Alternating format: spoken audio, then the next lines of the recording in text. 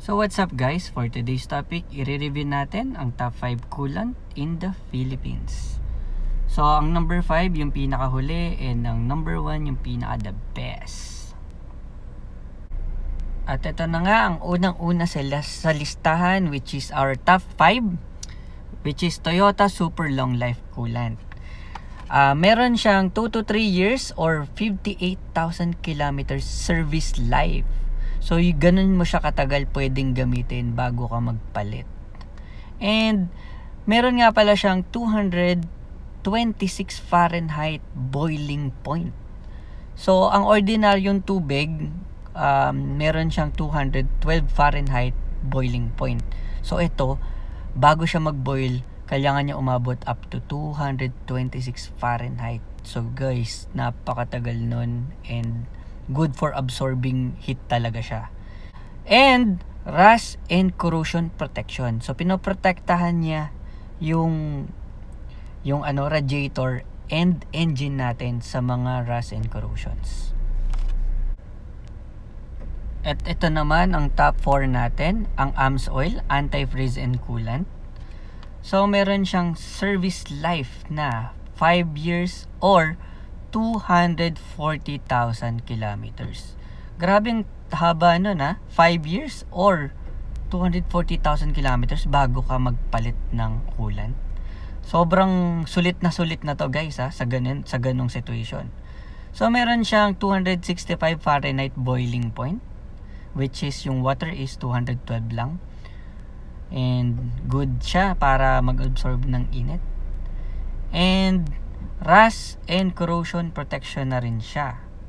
At ito pa meron siyang anti-scale bead up. Ito yung scale yung alam niyo yung mga puti po ito yung mga white scale yung mga sa gripo. I don't know kung meron din sa Toyota super uh, super long life coolant kung merong protection sa anti-scale. Kasi wala naman na indication na sa indication na may anti-scale build, build up siya. Pero ito naka-indicate mismo kay AMS Oil na anti-scale build up siya. Kaya naisama ko siya dito. So, ayun na nga. Yan ang top 4 natin. Moving on to top 3.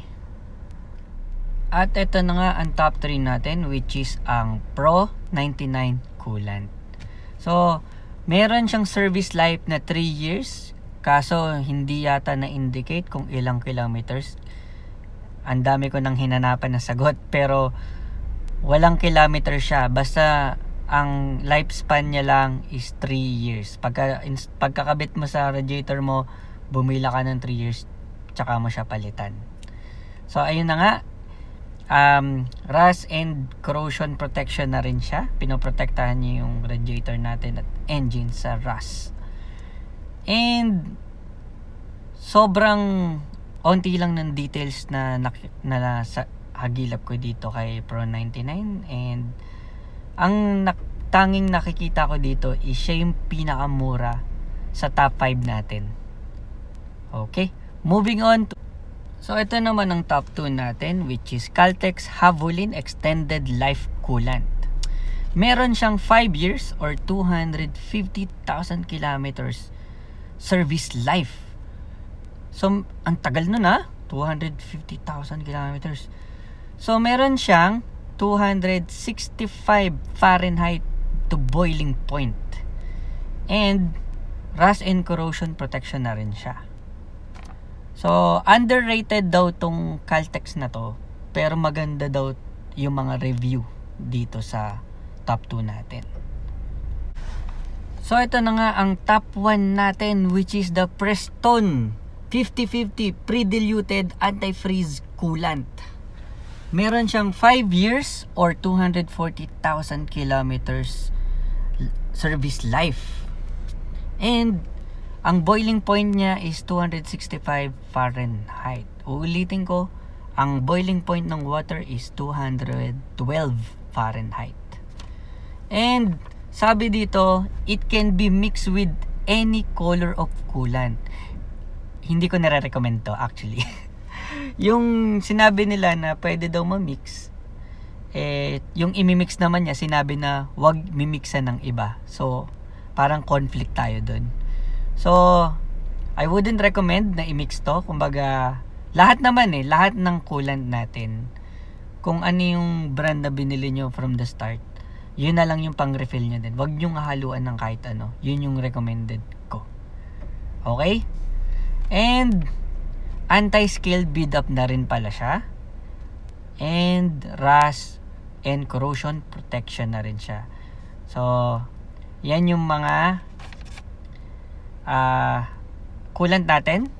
So, ayun guys, this is the top 1 for our coolant. And oo nga pala guys, pagka bibili kayo ng Prestone or Preston, make sure yung Asian yan, no? Ayan, formulated for Asian which is Honda, Infiniti, Acura, Subaru, Nissan, Suzuki.